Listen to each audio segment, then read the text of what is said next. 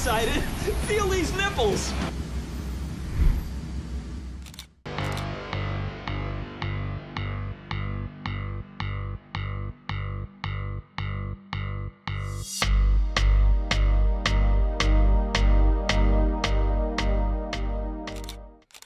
Hey guys, Jim here. Welcome back once again. Today we're going to be taking a look at one of the most interesting, unique, and wild knives I've ever seen in my entire life.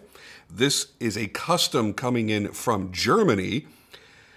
Scorpio design. This is the Shapeshifter EDC. And I think a good indication of what's to come is looking at the attention to detail in this packaging before I get into the knife, because you've already seen the pictures that I shot of it. There is, is that a sticker? Oh my goodness, what is going on here? He likes to include lots of stickers. Okay, so there's your sticker pack. But take a look at this book. I mean, this is a real indication of how much time and thought has gone into the development of this crazy knife. Basically, this is a catalog of all the variations that you can choose in the Shapeshifter lineup. What we're going to be taking a look at today is the EDC. The EDC is more of the manageable size of all the Shapeshifter variants that are available. So on this plastic card, it teaches you how to open it and how to close it and this is your certificate of authenticity. And the, the most important information is on here. Uh, they're individually numbered because they are all full customs. This was made in January of 23. The blade is uh, Gunther's own make of Damascus. He does forge his own steel. I think that's also really, really wonderful. And a, a big part of what separates this from any companies that would choose to cheaply knock it off, there'd be an immense difference between the quality and the effort that's put into this than anybody that chose to knock it off. You've got the handle made out of OD green micarta, and then the liners made of 6AL4V titanium. Now, I think it's time to get into the knife without any further ado. You'll also get uh, some lubricating and protective oil as well. Let's get into the actual knife itself. Not crazy about the Ziploc packaging, but uh, everything else was, was so incredibly well thought out. Now, you do have to be very, very cautious as you're getting to know this knife because as you see, the blade slides through the handle, and if you're not holding it properly, you are going to slice the living hell out of yourself. And I'll be honest with you, I have sat on this knife for over a week because I didn't want to be that guy that cuts himself in the video while I'm trying to demonstrate it. Speaking of that, I want to give a huge shout out and a big thank you to my good buddy Alex Tissot from the Watch and Cut YouTube channel. Um, Alex and I have been friends for a few years. This was one of his grail knives. He finally obtained it just a few months ago. And uh, he offered it to me and, and, our and our mutual friend Dirk Werning and said, Hey, do you want to check it out and, and get a kind of a feel for how crazy this damn knife is? And of course, we both jumped on it. So Dirk has his review on his channel. Now I'm doing mine. Alex obviously got his up first. And I have some I have some thoughts. I have some initial thoughts before it arrived, the initial thoughts when it first arrived, and where I've landed on it now. When I first saw it, I thought this is probably the most ridiculous thing that I've ever seen in my entire life. It's unnecessary, it looks dangerous, it's just, I don't know, I don't get it. But that doesn't mean I didn't want to actually still play with it because it is that different. You see how close that can come to cutting you? It is that wild and that different. When it first arrived, I let it sit in the in the postal box that it arrived in for probably three or four days without even touching it. I'm like, man, I just I, I don't know that I'm ready for this. It's just so weird. It's so out there. And that's probably how you're reacting to it as you're watching it, as you're seeing me manipulate the knife. You're like, yeah, I have zero interest in a knife that could poke me with the tip and then slice me the entire length of the uh, of the cutting edge. But if you're careful, if you're paying attention to what you're doing, then you don't have to worry about that. And that's something that I've learned. I've also learned that closing it is a lot easier than I initially thought because you do not have to manipulate the lock in order to close it. The lock is there simply so that you can handle this knife safely in the closed position and never have to worry about that blade coming through the handle and cutting you open. So once you release the lock, which I always forget which way it goes, then you just simply begin the opening process. And then you're simply overcoming the geometry here where the two port two ports two parts of the handle come together and it friction opens. And the cool thing is this is rock solid man. That's not going nowhere. What you really have to do is just kind of hold it like this and you're going to push down or up, depending on the orientation, on the blade, and then you just simply slide it back in place. And when you close it, you'll hear that lock engage. It's like a little ting. I don't know if I can get that to show up on my camera or not, but maybe you'll hear it. Here we go. That's unlocking it, sliding it closed, and here we go. It's a very subtle sound, but it is there. Crazy. Just, it's, is a magnificently weird knife. And I'm going to be honest with you, I've been playing with this now for several days, and I'm at this point now where I want one for myself. And it's it's so bizarre because I've done a complete 180. I went, eh, it's not my kind of thing, but yeah, I'd still like to share it with my audience because I like to expose you guys to unique and fun things. But now I, I mean, I went from going, eh, it's, it's, it's a cool piece to kind of research to now, yeah, I kind of want one of these. Now, if you're looking at this as a tactical folding knife of any sort, that's not really the approach to take. I look at this as a fixed blade knife that happens to transform in a way that makes it a bit more compact. You throw it in the leather sheath, which I wouldn't do a, a, drop leg leather sheath like this. I would have my own sheath made. This is an option that's available when you purchase from Scorpio Design. You can get this sheath. It's very, very, very well made.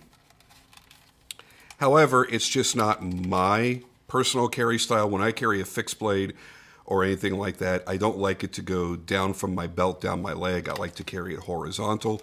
So I would probably just have my sheath guy make me a horizontal carry version because this is absolutely the kind of knife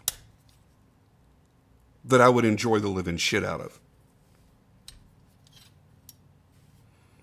And you pull this thing out in front of somebody, knife person or not, they're going to be super interested in it. They're going to look at this and go, What in the hell did you just do?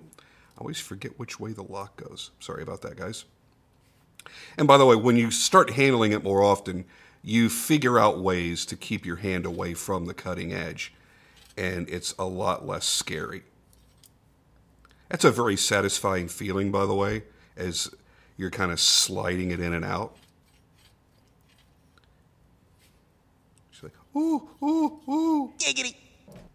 Okay, sorry.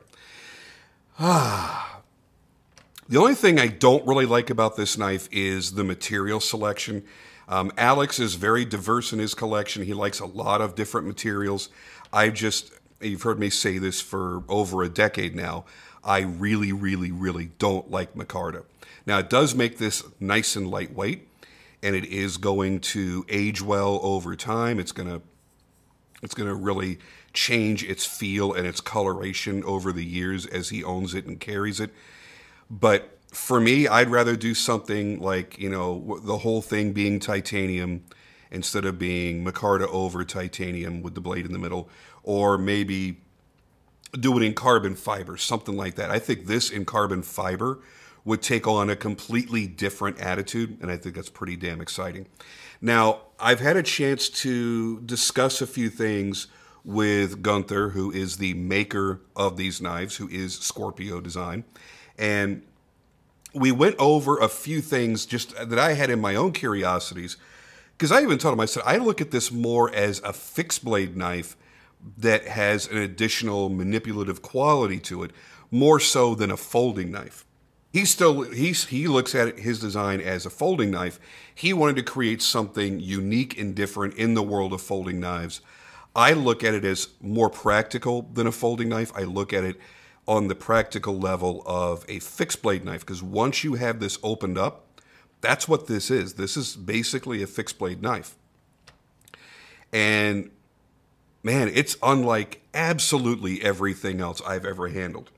Now, what I'd like to do is go back to my standard video format where we'll do the TLDW, then I'll throw the specs up on the screen, and then we'll go later on into story time and my personal thoughts and my Q&A session with Gunther to kind of give you some backstory to this design, to this knife, and to the work that he does so that you have a full understanding of what this is all about.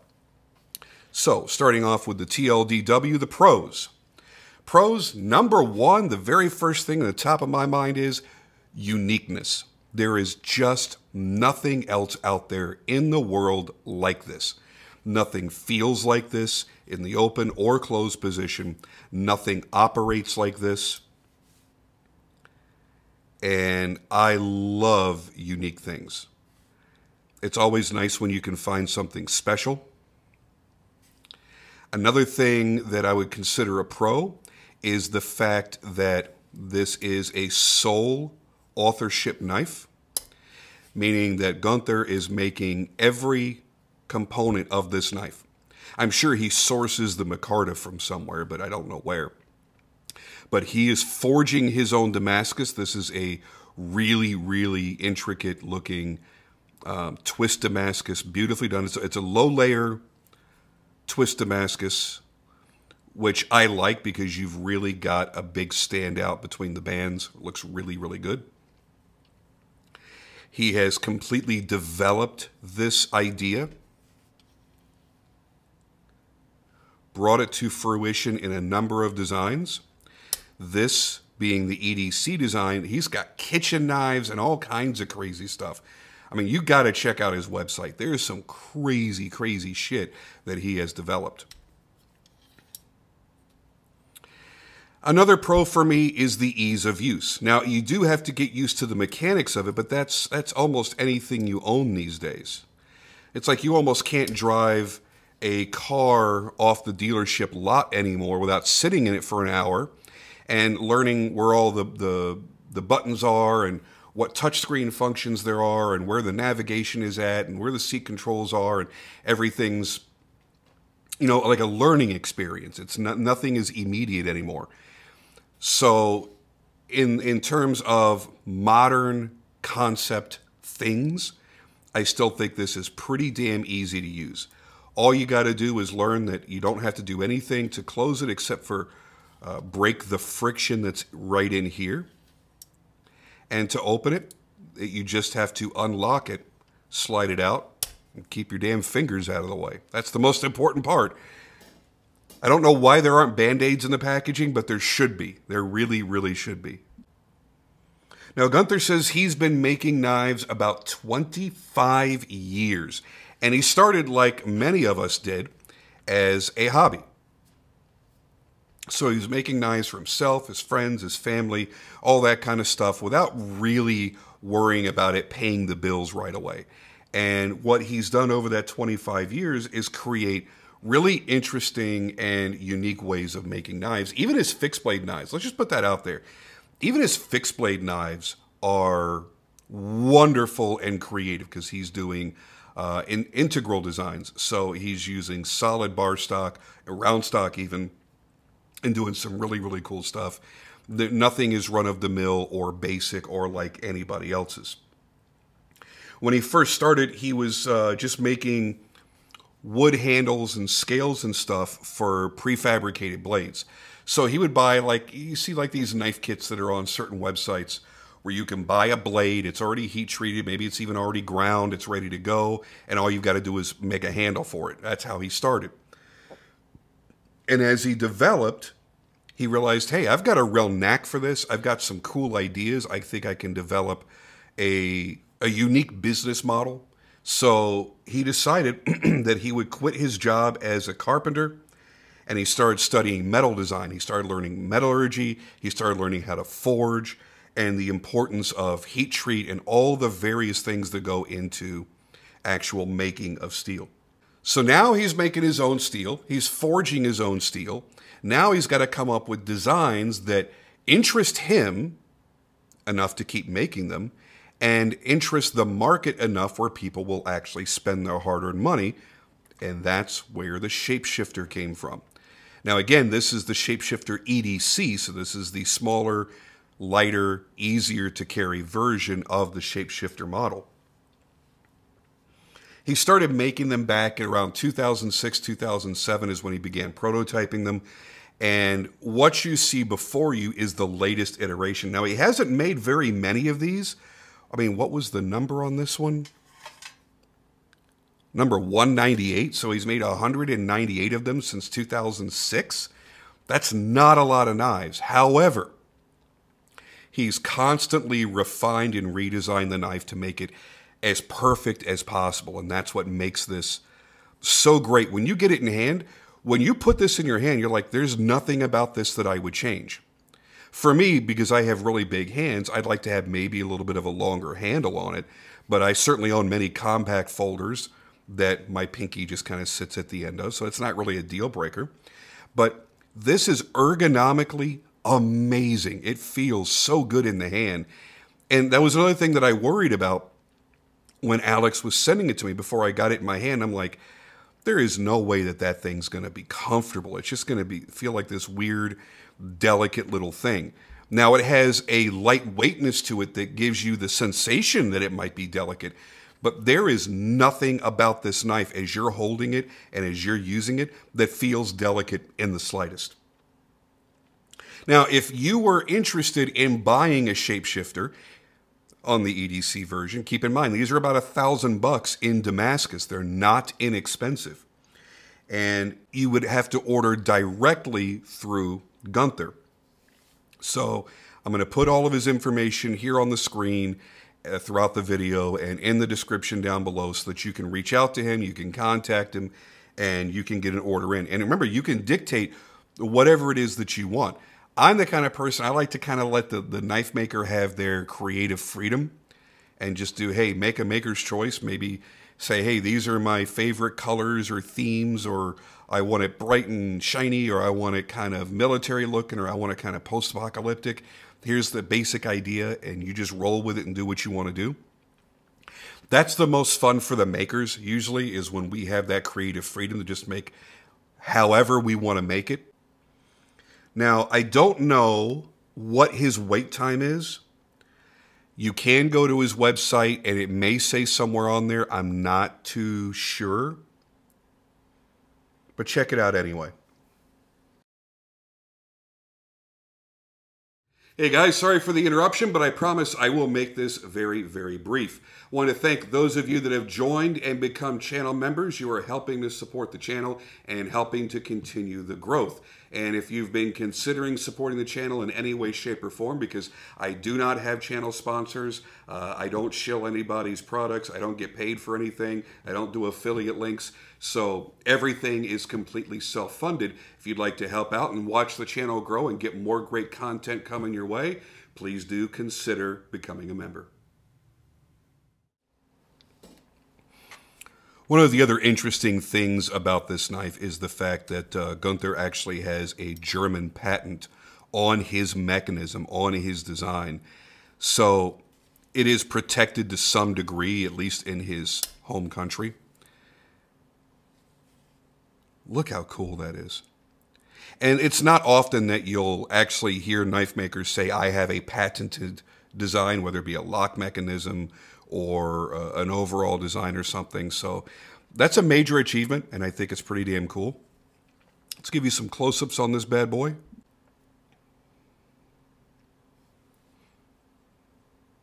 So I think it's pretty important to see just how much work goes into this. Let me go ahead and pop it open so you can see the mechanism as it's working. And by the way, this is gliding so wonderfully, so smooth. The only thing that you'll really feel is there's a guide that's in between the handle segments there, and that guide is what goes through this blade window. And because this is Damascus that's been etched, I can feel a little bit of the pattern eh, of the Damascus inside of that channel. But other than that, everything about this operation is glass smooth. I love how this locks into place. And it's so solid, like you feel it and you hear it.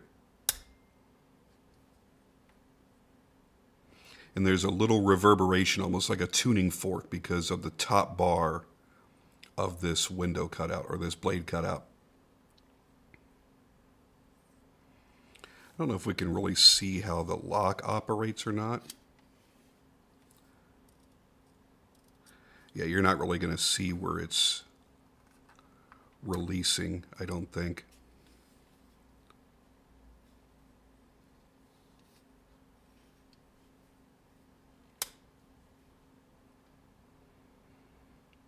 but it's so wildly different. It's this is the kind of knife that when you've got it in your hands, you tend to just sit there and stare at it.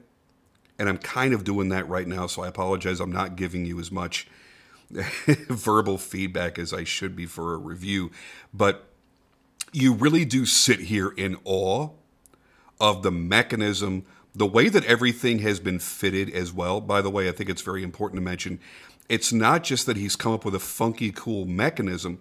It's that all of these components are so well fitted, it's almost seamless. And that may not always be the easiest with a softer material like micarta up against titanium.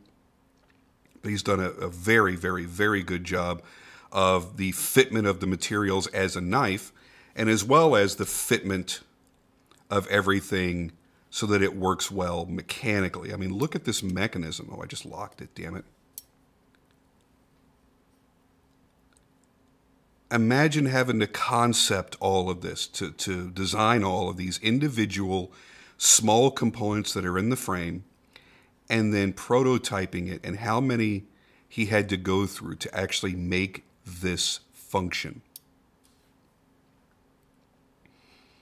And that to me is one of the most exciting things about knife making is seeing people with creative vision doing creative things, not just off the shelf cookie cutter ran, you know, everyday designs, but something that is truly unique. This may be so funky that you may never consider owning one because it's just too different from what you like to purchase and what you like to collect, and I understand that. But you get to a certain point in collecting, or at least many of us do, where you'll buy curios. You'll buy things that you go, you know what, I may not really ever carry this thing and hard use this thing, hard use this thing, but it's something that I feel is a great representation in the evolution of knife making. And I, I want to have a representation of that step in my collection. And that's, for me, that's a lot of what this is. I don't think it's something that I would carry very often just because it is a little bit awkward. It is a little bit different. And it's certainly not quick to deploy. This is not going to be your go to tactical self defense weapon or anything like that. But for me, it's more about I believe that a knife design like this has some historical significance because it is so different, it is so cool. And I do like to buy knives whenever I can that are sole authorship or that maker is putting his every skill set that he's learned, he has put into this knife. As a designer, obviously overcoming all the, the how I just can't imagine how difficult was, it was to design. To being a bladesmith, forging his own Damascus, and then being a knife maker and making all of this come together. There is a shitload that goes into making a knife like this. This is not, you know, we can all appreciate Sebenzas and XM18s and and things like that. And it's not to take away from the fact that, you know, it took them a long time to develop their knives and perfect their knives. But this is on a different level. This is engineering, this is bladesmithing, this is knife making, and all of these things come together in one knife. That's kind of nuts. It's kind of crazy. And that's why I think it's something special. Am I going to have one of these in my collection? I don't know. Could be a while. It's a thousand bucks. You know, we all got to consider all the, uh, the the current world economic situation. I don't get to spend the amount of money on knives that I used to. However, it's one that I can look at and go, that's a solid investment. And when I feel like I can just, you know, toss the thousand dollars into a knife that I may or may not ever carry, this is probably going to be that knife. And there's quite a few on the grail list. That's that's for sure. And not all of them are going to be daily use EDC hard use knives. So you you, you kind of have to pick and choose when you're spending that money on a knife that may get less utilitarian use than others. So then it becomes more of a want than a need. But I think this is going to rank up pretty high in that because, man, it's just, it's so friggin' cool. And now that I've handled it, and I think that was the big important thing, now that I've handled it, I know that it's solid, it's secure, it's unbelievably well made. It's not just a cool concept, it's actually a very, very well made knife that I think would last probably a very, very long time in my collection. I certainly don't think I would ever become bored with it. I mean, look how friggin' cool that is, man. All right. That's it for me on the Shapeshifter EDC from Scorpio Design. If you have any questions, put them down below. I'd love to, to get back to you and answer anything anything that you've got. Again, uh, the information that's been on the screen and in the description down below is where you can uh, visit and order one of these for yourself. Also, check him out on Instagram as well. A lot of cool stuff in his repertoire. I got to tell you, as I flip through that catalog, looking from the oldest to the newest, down to the little tiny tech, uh, neck knife and everything, very, very, very cool stuff. So, anyway, that's it for me for now, guys. Thank you so very much, and I'll see you on the next video.